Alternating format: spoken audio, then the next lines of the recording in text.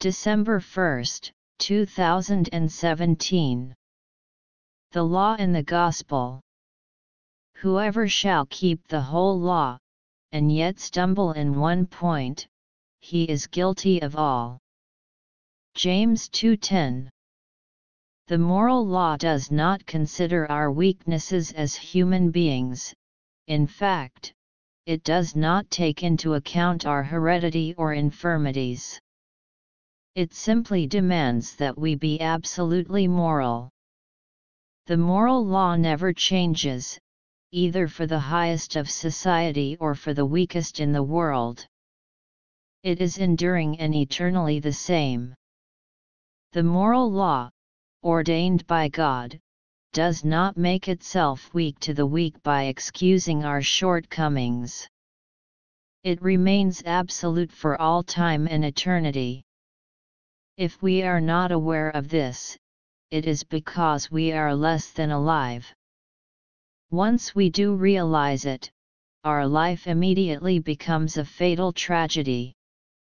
I was alive once without the law, but when the commandment came, sin revived, and I died. Romans 7 9. The moment we realize this, the Spirit of God convicts us of sin. Until a person gets there and sees that there is no hope, the cross of Christ remains absurd to him. Conviction of sin always brings a fearful, confining sense of the law. It makes a person hopeless, sold under sin, Romans 7:14.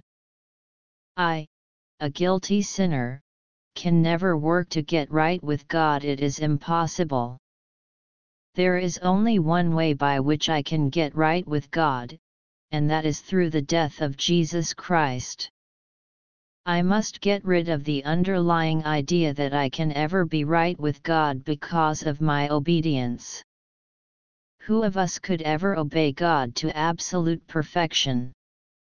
We only begin to realize the power of the moral law once we see that it comes with a condition and a promise but God never coerces us.